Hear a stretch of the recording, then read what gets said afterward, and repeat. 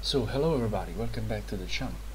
Now we're going to examine with a simple short video the issue with the CPU Intel Intel CPU kernel bug that is floating all over the web uh, and it's stated to be around 30% performance loss. I don't think I personally don't think this performance loss is for us, for power users, for gaming PC users or for simple PC users, but it's mostly dedicated to cloud computer or mostly factory system servers. Computers that do work on a lot of data every day 24 hours per day and do need a lot of hungry CPU power. So what are we going to look at is a simple TimeSpy 3D Mark DirectX 12 benchmark and we are going to see whether it's coming better or worse before or after the fix that uh, is being released by Microsoft today.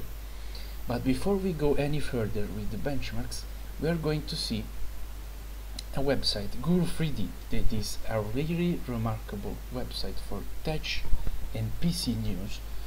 Be sure to go out there and read this full article that I will link in the description because as they already state in the article there is literally zero to no performance loss for power users.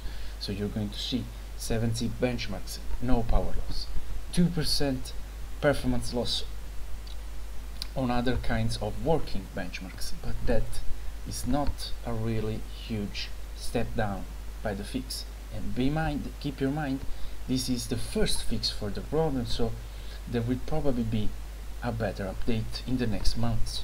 So what are we going to see next is gaming benchmarks by Guru3D and they say they state there is no performance loss at all.